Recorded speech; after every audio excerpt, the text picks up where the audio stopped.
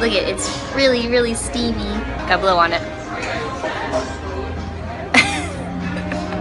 Erased an eyebrow. The battle format is one that you guys are digging, so guess what? We got more battles coming at you. This week, the battle is the Italian restaurant chain, and I put Bertucci's and Maggiano's head to head, and they're gonna battle it out for Italian chain restaurant dominance. I ordered the exact same meal at both of these restaurants, the same salad, the same appetizer, and the same entree.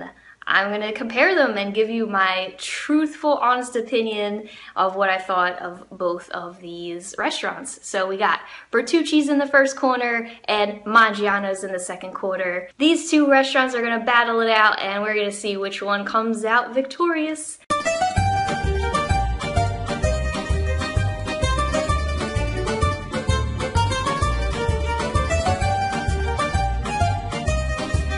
So I'm here at Bertucci's and we just ordered some appetizers and entrees, food. I haven't been to a Bertucci's in years, so see what we're gonna get. This bread at Bertucci's, I remember as a little kid, I used to go to Bertucci's when I was little, and I used to get the dough, you know, you can make it with your hands, and they put in the oven and they give you the dough. This kind of wins for me on nostalgia. It comes out really toasty, crusty, and warm, and very delicious. I have to just give this one to Bertucci's. They just win on pure, tasty nostalgia for me. Hey, appetizer salad, Caesar salad, gotta go with the classic. Lettuce is definitely crispy. And also it's not drowning in dressing, which I like. So the Caesar salad at Bertucci's is really good. I definitely recommend the Caesar salad here. And as I said, it had the right amount of Caesar dressing on there. It had a good mix of romaine, the crunchies, and the leafy parts. Make sure you order the Caesar salad. I thought it was really good here at Bertucci's. This is the flatbread here. Can't go to Bertucci's without getting a little bit of pizza because that's what they're known for, their brick oven pizza.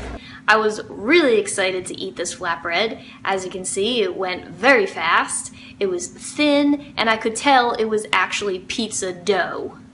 Okay, this is very important. It's not like pita or some sort of pre-packaged, I don't know what, but it was actually pizza dough. Really good. I'm very, very impressed with this flatbread. Baked chicken gratinati. Say that five times fast. This is a chicken and some tortellini. It's tricolored tortellini. Let's go in for the taste.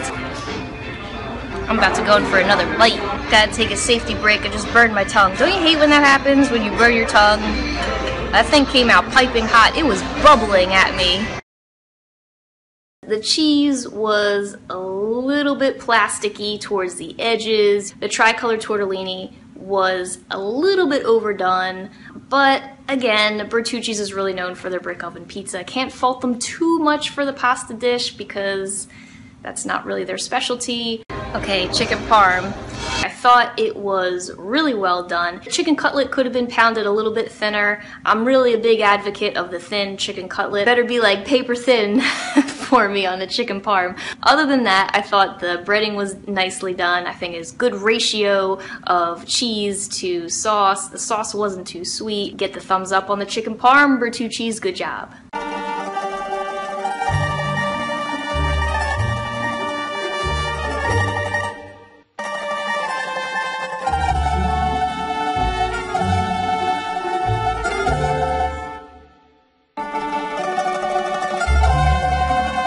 So I'm at Maggiano's and we're about to order dinner, see how everything turns out. Caesar salad taste test. Take one.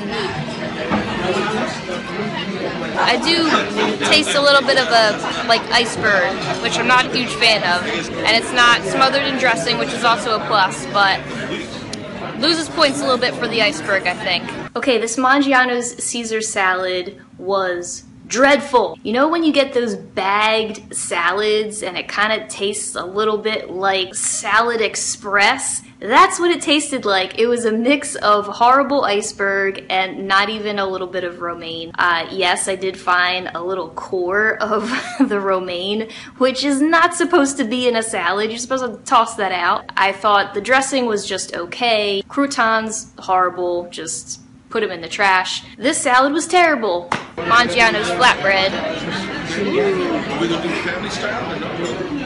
very good. I really like the fresh tomato on top. It's very thin. Maggiano's flatbread was not pizza dough, okay? It was some other form of bread that was not pizza dough. Flatbread is supposed to be on pizza dough. Tomato basil ratio, was not really ideal. I would have had a little bit more cheese on here if it was truly a margarita flatbread. Very disappointing. Would not recommend you getting this at Maggiano's. Here comes the chicken parm test. Nice and thin chicken cutlet. It's got a lot of sauce on it. Kind of crispy. Could use a little bit more cheese, a little bit more oregano, but it's pretty good. I'd say 5 out of 10. This chicken parm was okay. I, I just was like underwhelming. The portion size too, I thought was not as large as Bertucci's. If you're going all out on a fat kid chicken parm date, you want to have the full size. Definitely could have used more cheese and not cheese that tasted like plastic. You gotta get that nice melt on the mozz there. So disappointing. I Again, I, I gotta give it to Bertucci's. There it is. There's the chicken parm truth. The spaghetti taste test. Here it is. It's actually pretty al dente. I'll give Maggiano's the al dente spaghetti. I do enjoy some Parmesan cheese on my spaghetti, so you can see I needed to I needed to doctor it up a little bit. Spaghetti's pretty al dente. Good job, Maggiano's. And the winner is Bertucci's. I thought that Bertucci's won this battle fair and square. All the dishes that I tried in comparison to Maggiano's were incrementally better and I thought were a better value. Speaking of value, I know Maggiano's gives you the extra pasta to take home with you, so at the end of the day, you probably might come out ahead at Maggiano's because you're getting that extra meal to take home with you, which is great for leftovers when you don't feel like cooking. However, I think Bertucci's kicked Maggiano's ass when it came to flatbread, Caesar salad, chicken parm. You watched the entire video, thank you so much.